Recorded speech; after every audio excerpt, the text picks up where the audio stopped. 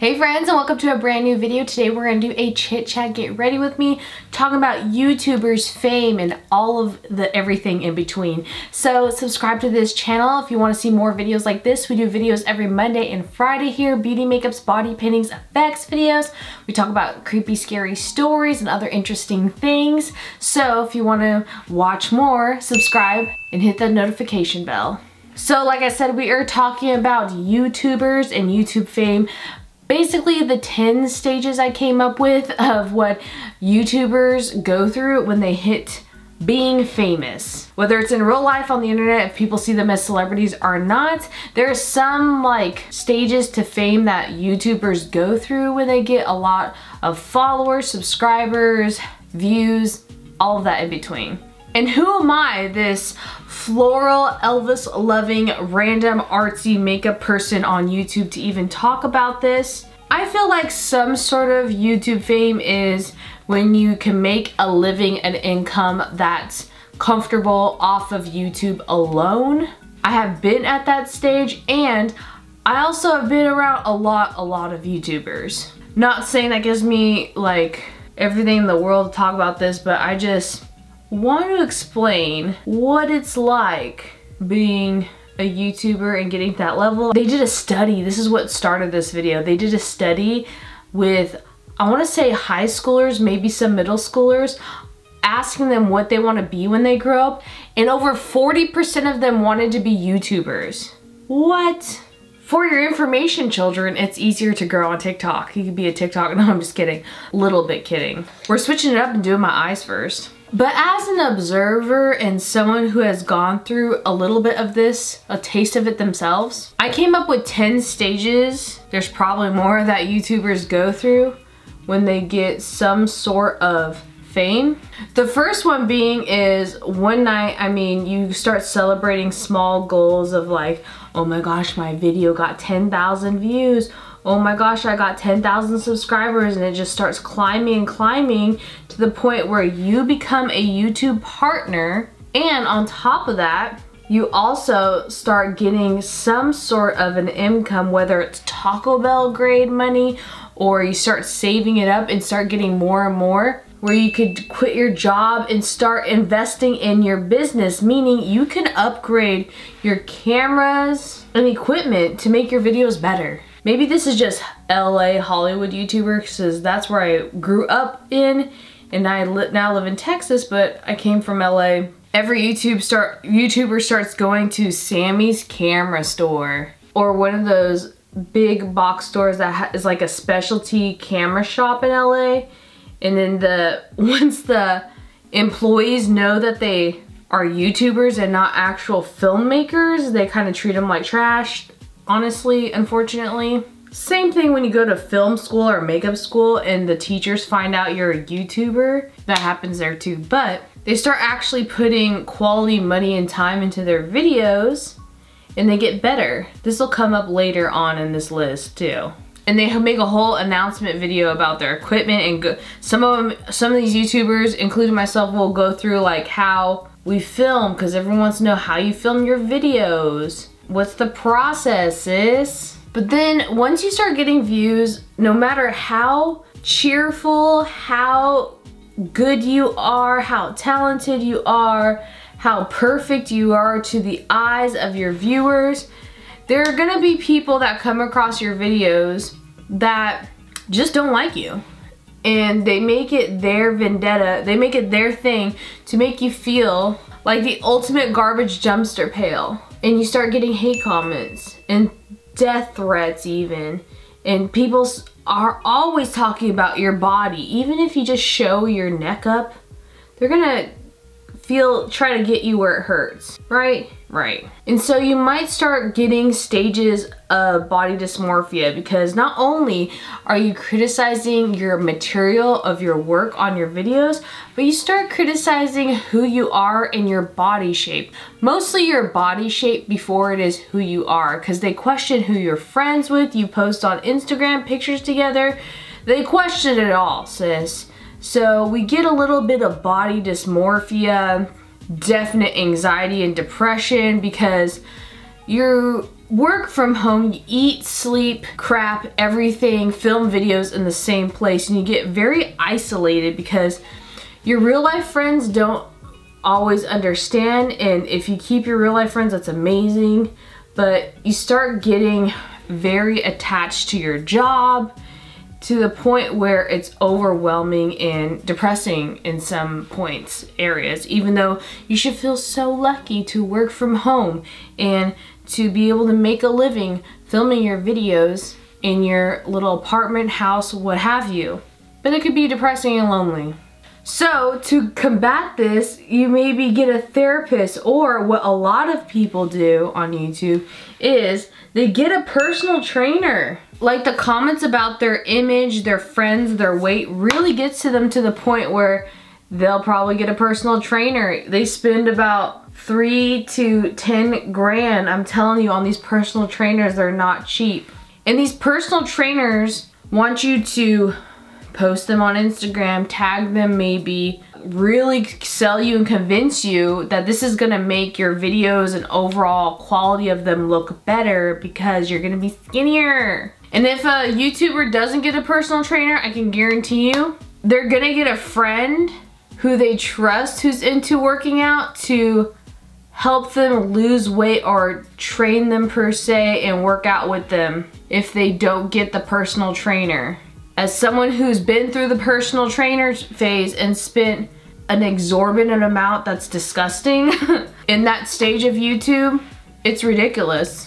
And another reason they may want to get a personal trainer is because maybe they get an agent, they're talked into getting an agent or I mean, I have a publicist who's amazing, who I love, but not all agents and managers and publicists are out for your benefit.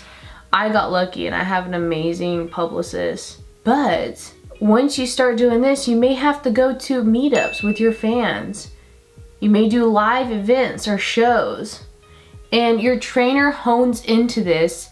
Some of them, the bad ones, there are good ones, but some of the bad ones hone in on this insecurity on how you look at your job and these meetups.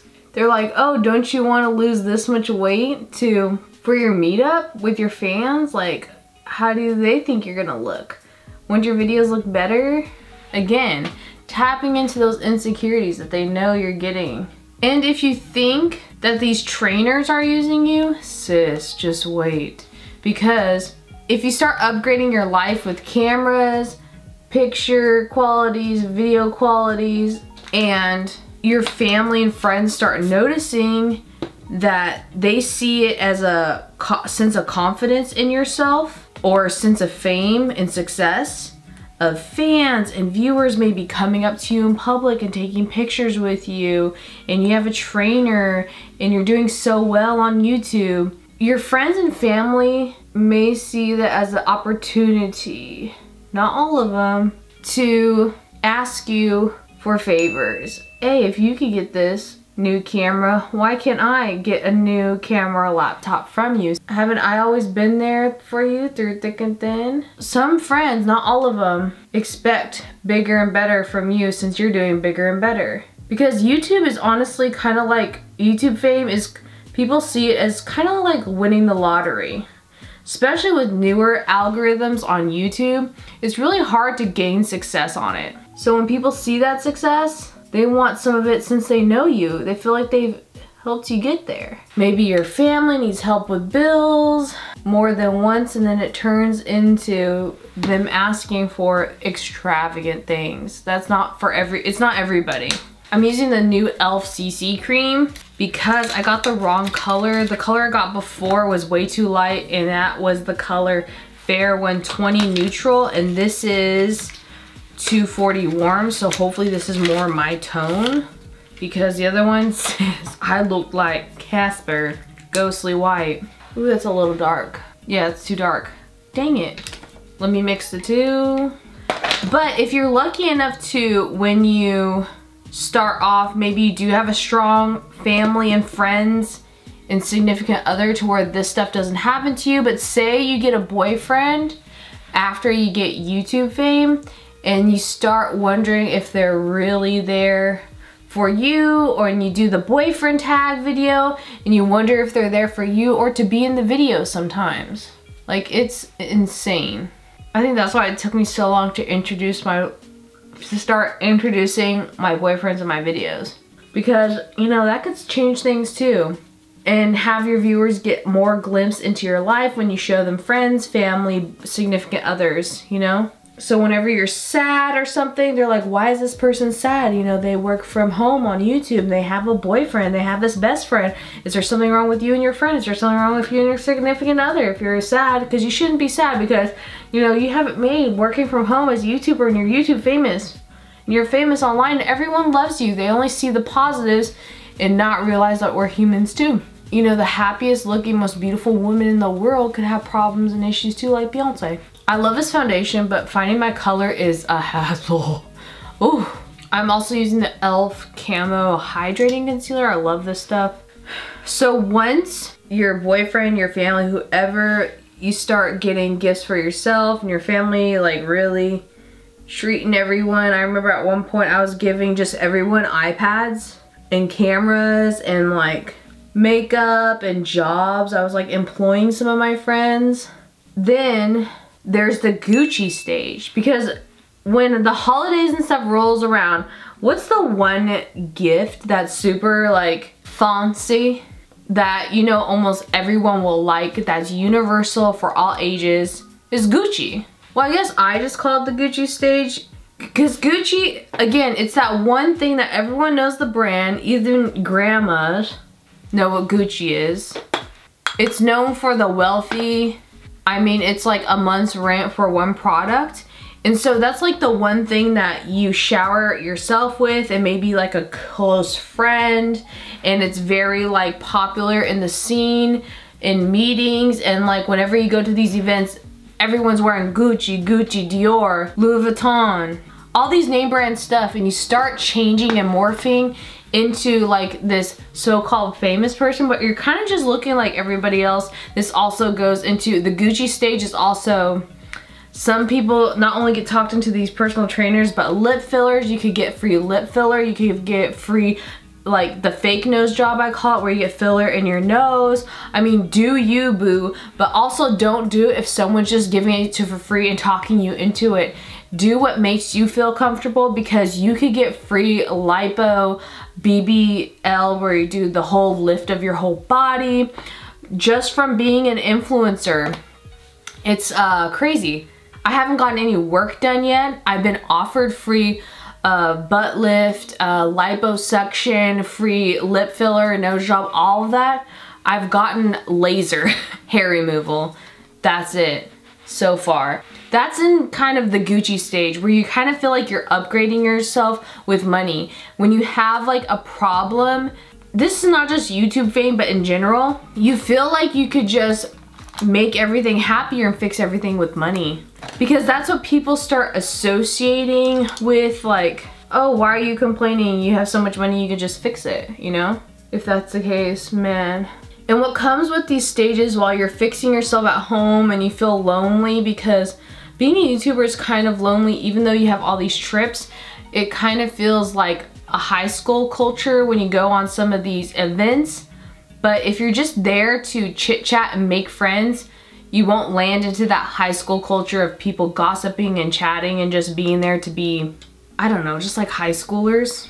But it's kind of hard to avoid because there's a lot of YouTube people that are like high schoolers, unfortunately. I feel like even though when you go to your regular job and YouTube turns into a job for you, when you go to your regular job, there's always the watering hole where like people go to get their coffee, their snacks, what have you, and they start like talking gossip or what have you. There's gossip in every field and especially YouTuber, I mean YouTube drama, people make a living on YouTube about it.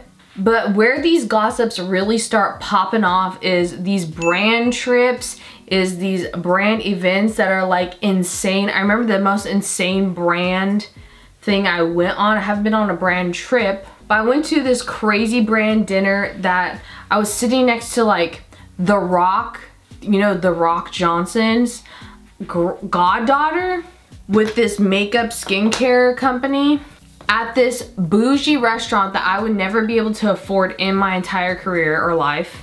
I think our meals had like six courses with alcohol and steaks and all this stuff. I had my own gluten-free bread, which I hadn't had gluten-free bread at that point in like, I don't even know how long, dipping into the Beetlejuice palette. It was just insane. But sometimes, a lot of times at these events, like even going, I've been to so many makeup headquarters and you start seeing the same people and befriending amazing people and then seeing some crazy people that aren't nice. And it's up to you to give in, if you want to give into those crazy people that aren't nice who just say something offhand. That's where the drama starts, I feel like. Sometimes people push buttons and say something offhand and that's where the drama starts. And you don't want to give into it because people get jealous of numbers. They just care about numbers, unfortunately, some of these brands and some of these people. And they start being like, oh, well, they say stuff just to get a rise. But I'm the type of person where I'll just remember that forever for the rest of my life. And I just will know what you said and not, you know, I'm not going to fight. I'm just going to remember. Because I know that first impressions aren't everything. But at the same time, if you first meet me and say something really crazy, right, right.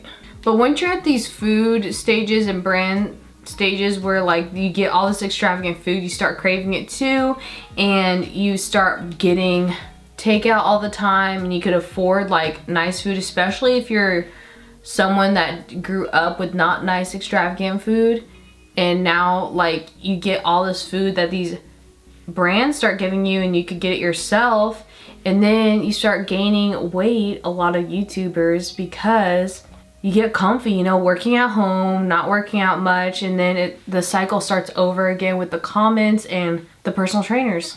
Other than contour, I'm like, what am I missing? It is eyebrows. I'm gonna first use a brow pencil and then this new Jen Atkin e.l.f. collaboration brow pomade. And once you start having these meetups, going to these events, there's even like the conventions like VidCon and stuff and people see you're following not on all your social medias and people start talking, they always talk, right? You even get people from your high school and stuff who you may or may not like start to try to get a hold of you and be like, hey, remember me? Do you need me to? Every YouTuber I know that starts getting famous, people start coming out of the woodwork per se and you will get like people that may have been mean to you in high school, been an actual bully, asked to, hey, can you promote my band? Hey, can you, do you need someone in your videos? Stuff like that, and it's super annoying. And every YouTuber I know, again, goes through this. Whether it's people you barely talked to in high school that pretend like you were best friends in high school or they actually want to befriend you, like no. I even heard of high schools that say, home of so, and so YouTuber at other people's graduation without permission of, of the YouTuber not even being there. It's ridiculous, you know? All right, let's try this brow pomade, shall we? Oh my gosh, it's like a hair comb. What is it doing? Is it doing anything? I don't see any change, doctor. I see absolutely no change. Well, this is sad. This is depressing. Man. What you can do instead is get some hair gel pomade, not hair gel, hair pomade. Then you can get a spoolie and just make your own, sis, because that was trash. I'm unimpressed. Ooh, yes, this is what I wanted. My brows feel better. All right, let's try one more product from this Jen Atkin e.l.f. thing with their lip liner lipstick duo and talk about the four year run because unfortunately every YouTuber I found has about around a four year run. If it's five years, three years, it's around four, you know? Meaning that's how long they have to keep their fame until it starts going downhill, unfortunately. It's kind of like celebrities that have like a five year run around, unless they're like really superiorly good, have it in with what movie or show they could be in, know people, etc, etc. YouTubers have to keep upping their game reinventing themselves, changing up their content, trying a new thing at least once a month, I feel like. I mean, I've been to all these classes to study algorithms, marketing. You have to know marketing to be a really popular YouTuber, which I suck at. I even went to classes on how to market myself and all that stuff. And I still, as you could tell, not understand it because I'm bad at marketing. But you have to be able to know how to do all these things and reinvent yourself to stay relevant. I hate that word. I hate content creator, relevant, and even saying fans as a YouTuber makes me feel weird. That's just me. Anyways, yeah, so I always feel like YouTubers have around a four year span. That means they could be at the top of their height of the career for around four years until something happens, especially with cancel culture lately. Oh my goodness, cancel culture. Let's even talk about that. I love this color though, this lip color. So the cancel culture is the people that look up these YouTubers past and not everyone has a perfect past and they find stuff, whether they're being racist, homophobic, abusive, what have you, and they search up their past and they find things that they think is the worst.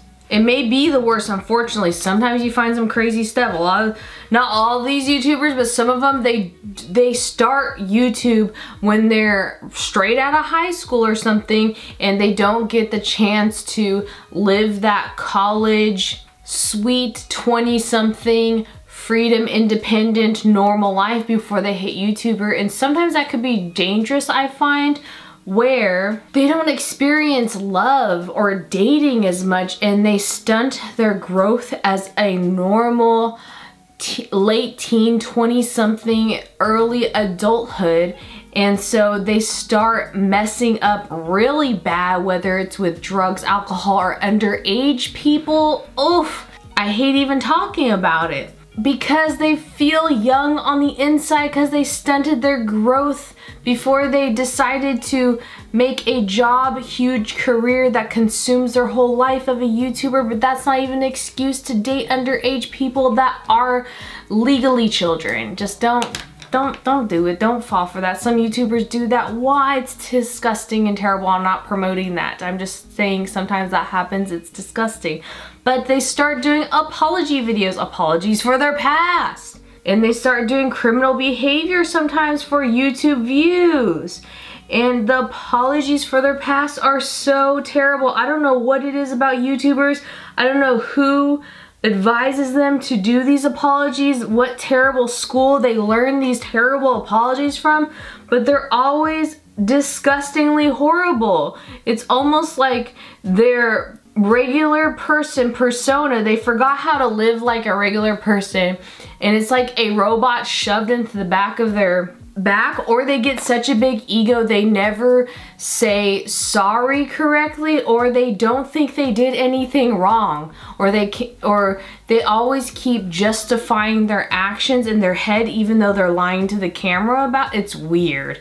I don't get it I don't understand it I don't get people that just cannot genuinely say sorry and think they made a mistake in asking questions on how they think how others would go about it and asking for help from real people and not a publicist, a manager, uh what the yes people. It's just so crazy.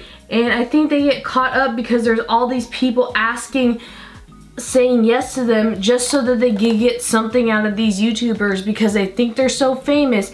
And there's that stage where YouTubers are not seen as celebrities, right? But some of them get as many views and as many things in public, even more so than real movie television celebrities.